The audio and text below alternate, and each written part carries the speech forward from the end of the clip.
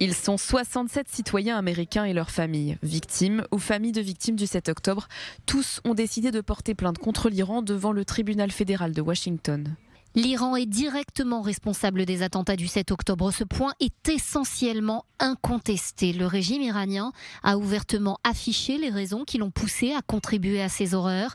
La fourniture par l'Iran de fonds, d'armes, de munitions, d'entraînement et de renseignements au Hamas et au djihad islamique a apporté à ces groupes terroristes un soutien matériel et des ressources utilisées pour assassiner, torturer, prendre en otage et blesser hommes, femmes, personnes âgées, adolescents, enfants tout petits, nourrissons et autres. Ces familles demandent des dommages et intérêts au titre du Fonds américain pour les victimes du terrorisme soutenu par l'État, des honoraires d'avocats et toute autre réparation que la Cour jugera juste et appropriée. Selon l'article publié par le média NBC, un ancien officier militaire et de renseignement américain a déclaré en octobre que les tactiques utilisées par le Hamas pour attaquer Israël indiquaient que l'Iran avait très probablement joué un rôle important dans cet assaut sur plusieurs fronts.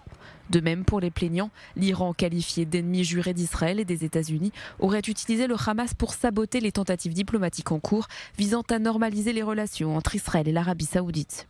Alors que la normalisation potentielle d'Israël avec l'Arabie saoudite progressait, l'Iran s'est préparé à instaurer un nouvel équilibre régional, notamment en tentant d'unir les États arabes autour de la cause palestinienne. Une telle action constitue la première tentative de tenir l'Iran pour responsable du massacre du 7 octobre. Elle devrait durer plusieurs années.